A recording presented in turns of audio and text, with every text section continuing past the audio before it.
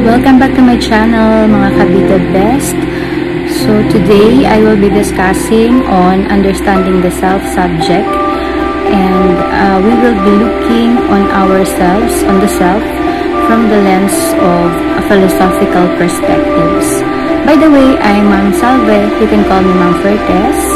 I am a BS Psychology graduate and um, currently taking up Masters of Arts in Education, major in Social Sciences. And of course, this subject will govern all about the question, the basic question in understanding the self or in psychology, balikan natin yung sarili natin. The basic question, who am I? So, we will be discovering more on the philosophical perspectives nga and we will be analyzing proponents of philosophy. And of course, before I move on to the topic proper or the, discussion proper, don't forget, of course, to watch my videos, click the bell button, subscribe on my channel, and of course, like or leave a comment for the improvement of my videos. So as you can see, we are living in a world wherein time or yung oras, it never stops. Hindi siya humihinto. Pwedeng isa sa atin huminto yung oras, but then again, time itself does not sleep or does not stop. Okay, so on, on understanding the self, time is an important factor of a human person to define or to determine or to discover the self better and deeper. Ticks fast and it never stops. And every day, there is a number of 385,000 person or human being that is born in this world and that is according to worldcount.com and here locally in the Philippines every day kada natin sa bawat araw na meron tayo, there is a number of 4,856 Filipinos that was born in the country. So meaning, marami man ang namamatay, marami din ang napubuhay. A human person or an individual uh, was born into this world. The mother or the carrier so-called another unique individual was developed and perfectly molded into a human being. And that is you, that is me, and that is us. For some, that serves as a miracle. That's why it's called the miracle of life. But for some people, that they are not prepared or ready to face the reality of life, that they are now into a world wherein they are capable of reproducing. A new component of genetics within the system of that person will be developed and of course turn into a certain person someday. We cannot tell. No one can tell what lies ahead of us. But one thing for sure, by the moment or the process of conception and after birth, a new baby or a new human being was given a name and that name will serve as the brand of the person. A life with a certain name that was given by the parents, specifically the mother. So I want you to reflect on this activity, even if you are at home. I want you to get a piece of paper and of course a writing material, a ball pen will do. If you will compare your your previous write, writings into in today's time, parang i-imagine mo or magre-reflect ka talaga na paano mo nagawa? Now, facing back the old times, it's difficult for us to write our names. But then again, slowly but gently, may proseso, no? May, may kwento kung paano natin naabot at naitulog yung ating pangalan. Alam mo, my dear Kabita Dust, is the most difficult part of of a person, no? It's not, it's not the problems of basic. You write your name, and when you struggle upon writing up your name, that, that, that will be the same struggle when you face the reality of life and you reach the age of maturity. Okay? But then again, let's go back to the basic. Ang pagsulat ng pangalan ay parang parang parusa at pagpapahirap sa atin sa buhay, mga problemang nararanasan natin. Pero dahil nasanay na tayo kung paano natin ituwid ang ating pangalan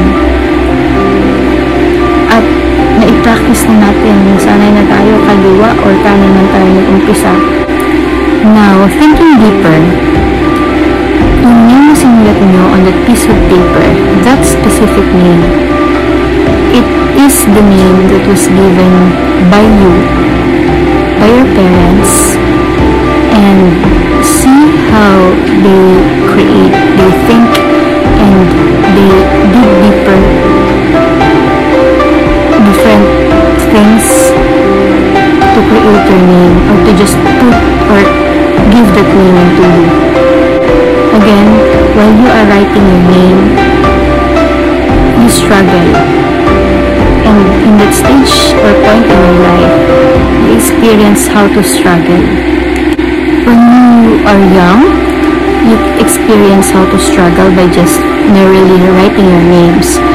But the struggle is not permanent because by consistently doing what you are doing means of writing, slowly but gently you get used into it until such time the struggle that was encountered by us will be shortened and you will not feel the struggle anymore. In the longer way, you write your name, you perfect it little by little, and by the moment you reach the the higher the higher grades, marami ka nang nilalagay na style sa names mo or even you use calligraphy just to give emphasis to the name because that is who we are. When you are young, pag tinanong ka, sino ka ba? Pag tinanong ka, who are you? Your answer will be, your name directly. Then again, when you grow old and you improve your life, not only writing, improve your life, when somebody asks you, sino ka ba? Or who are you? It's not just the name that you will tell. Along that name is a deeper, a deeper person with a deeper story. Our name, your name, corresponds to the question, Who am I? Our name is our signifier, and it is the representation of ourself. Our name contains a story of our being, a meaningful brand that designates us into this world. And by means of calling us by our nicknames, it has a deeper sense of closeness or relationship. Diba? Kapag tinawag ka using your nickname, so it signifies something. It signifies or it was attached to a relationship or a bond that is not usual than the other. To respond on the philosophical question, who am I? Let us discover ourselves or the self by means of using the, the layer of the onion. So, as you can see, the onion or yung sibuyas na typical, if you will look at it, it is covered by different layers. So, the self contains different layers or the self is multi-layered and and we have various roles in life. May kanya-kanya tayong pagkatao sa buhay. May iba-iba tayong pagkatao sa buhay. Try to reflect on yourself. You are not just a child. Hindi ka lang anak, kapatid ka rin. Hindi ka lang kapatid, estudyante ka pa. Or kung meron kang relationship right now, hindi ka lang kaibigan, boyfriend or girlfriend ka pa. So, meaning, we all have different roles. And sometimes, it was so confusing on what role ka ba masaya o saang role ka ba ng buhay mo masaya. Yung pinakamababaw na parte ng pagkatao natin. Say for example, ano yung mga gusto natin, your likes, your dislikes, your fashion, the outer you. It is something that can be seen easily by other people. The way you dress up, your clothes, and so on. So, those are the superficial layers or yung talagang balat lang ng sibuyas na mababaw lang nasa panlabas na kaano-anong tao. The next layer is the middle layer. The middle layer is your political views, your attachment to the society, societal positions, basta may kinalaman siya sa sarili at sa lipunang ginagalawa natin. Not only within the family, but the context of the school, hospital, your, the politics, no? Ito yung mga pananaw natin na konektado sa external world. So, after the middle layer is the inner layer. So, the inner layer, uh, in the onion layers, is or contains our somehow the deeper us. Ito yung mga attitudes natin. Ito yung mga goals, yung mga hopes, yung mga fears natin. Aware tayo about that na ginagawa natin. Of course, yung faith natin, our spiritual self, lies on the inner, the inner layer in the onion. Of course, in the bulb of of the onion, nandun yung pinaka-inner core. So, the inner core is ourself. It is our personality. Ito yung pagkatao natin. So, sino nga ba tayo?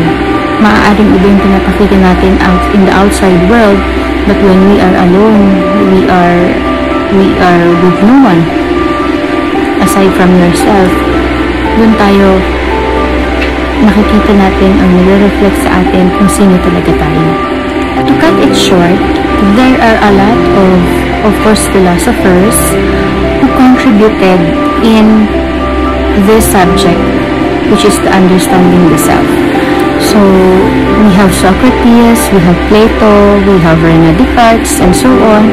So, but before those established names in philosophy, we also have Thales, we have a lot eh.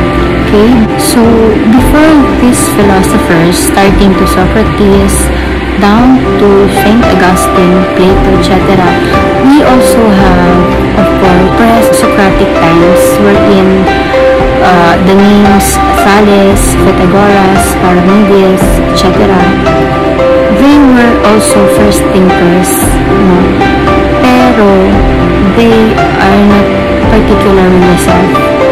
They extend their learnings or their knowledge on the heavenly bodies, the movement of the earth, the, the, the sun, the moon.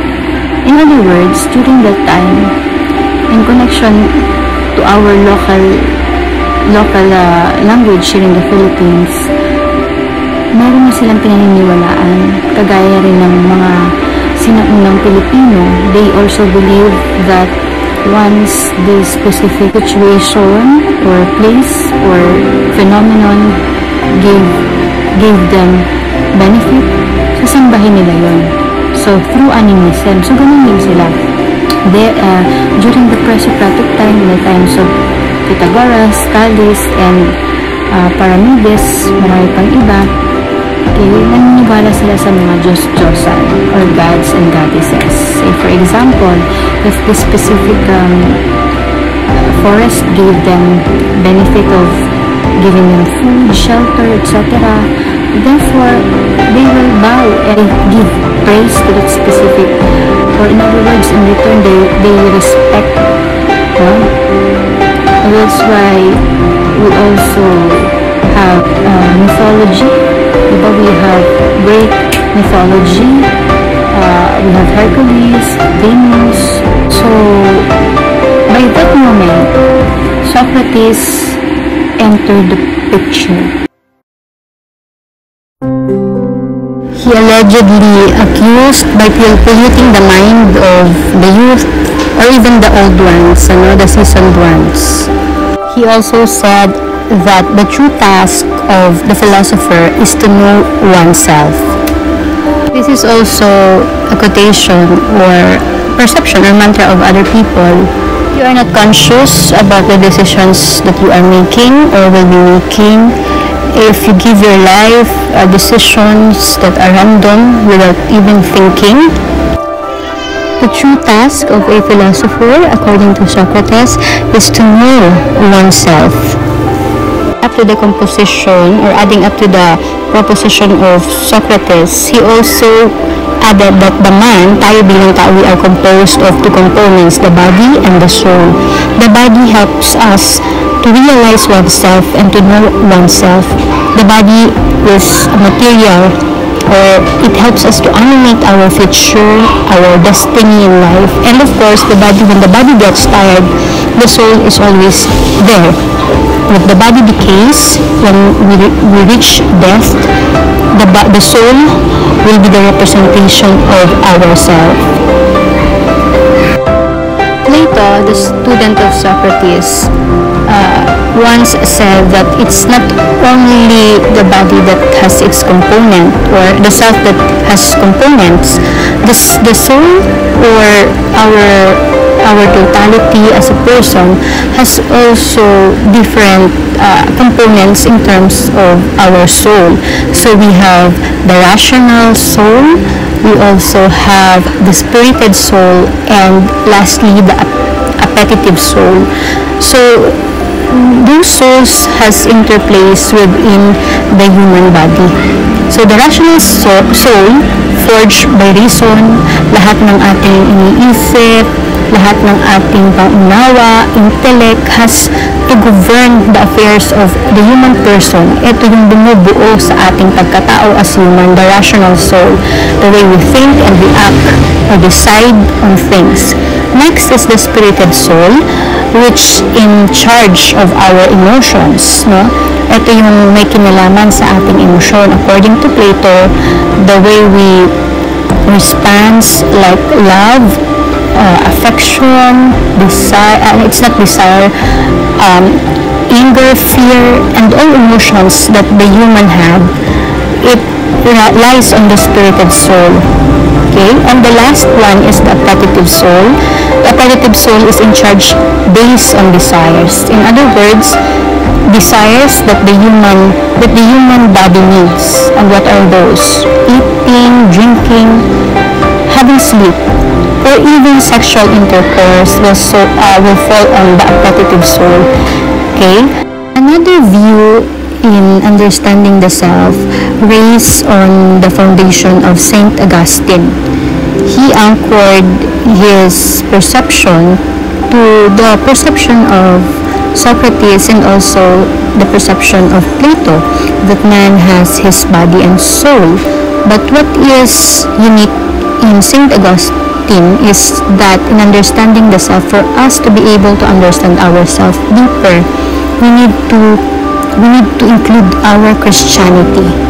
Our Christianity is our divinity, that it is agreed that man is uh, bifurcated in nature, that there is an aspect of man which dwells in the world that is imperfect and continuously yearns to be with the divine, while the other is capable of reaching immortality.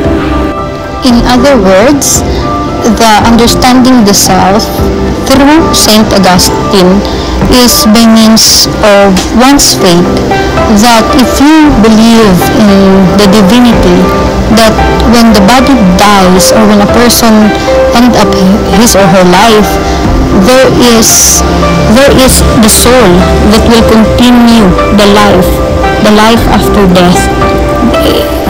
The person will become alive in the sense of God and the existence of uh, the supreme being above us.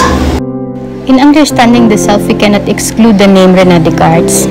He is the founder of the Cartesian plane that we are using in algebra, the x and y, and he is also the father of modern philosophy. Rene Descartes imparted to people, or in the subject understanding the self, that one or we need to, to pass the test of doubt because as a person, as a human, we have the mind. Okay, so the logic of the mind, it was put in the upper part of the body is for us to use first the mind before the body. So if something is not clear, doubt, then that is the only time when one should actually buy a proposition okay so not all the time you, you should subscribe. Not all the time you, you need to be persuaded by the words of other people. Not all the time you need to buy this thing because you have the mind. You need you first need to use that mind and doubt before choosing or deciding for yourself. His famous cogito ergo sum or I think therefore I am is one of the most used foundation in understanding the self. Or even in, your, in the current times wherein you are in the college level, you have this jargon, think before you click, think before you do such thing, no? You always rationalize before doing things in life. You, you need to, to balance it with thinking first before taking actions. And that is, uh, in understanding the self, one common uh, ways on how to achieve or to understand or to discover ourselves by means of thinking deeper of ourselves. So next to Rene Descartes is a Scottish philosopher named David Hume. So David Hume gives us uh, or impart with us in understanding the self on uh, how we understand ourselves that contributes to the understanding of our experiences. Again, let us understand how Hume is different from other philosophers and what are his contributions in understanding the self. According to Hume, the self is not an entity over and beyond the body. It is similar to Rene Descartes that our self is not our body. Empiricism is a school of thought that said that idea or our knowledge can only be possible if it is sense and experience. So to understand ourselves is to look on our experiences and our senses. Okay, so continually, Hume's knowledge can be attained by experience and moreover, it is through experience and reaching to a certain situations that lead us to understand who we are your emotions, your heartaches, your fear, your anger towards somebody, or even the failure that you might have, those are bundle of impressions. So, if we try to examine his or her experiences, it was only categorized into two, and what are those two according to Hume's, our impressions and ideas. So, those two are important and serve as the basis or basic object of our experience by sensation and they later form your thoughts. For example, when one touches an ice, the cold sensation is an impression. You cannot have an impression if you could not have a direct experiences on it. And because of that, ideas are formed and serve copies of our impressions. So, the things that we experience or, or directly experience are actually copies of our ideas. It was said that ideas is not as lively or vivid like our impressions. So basically, if you think of the idea of falling in love, for example, at the moment you acted upon that, it becomes your impressions. So that's why if you experience directly an heartache or wrong relationship, what will happen?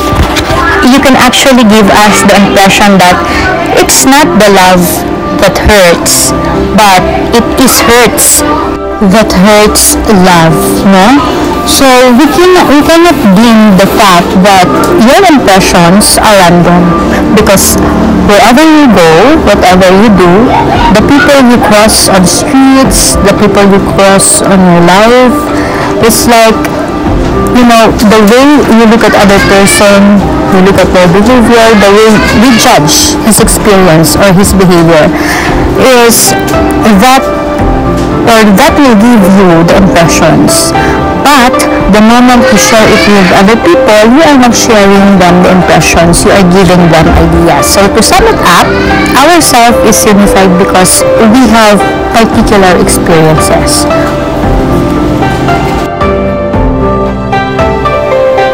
So moving on, we have Immanuel Kant.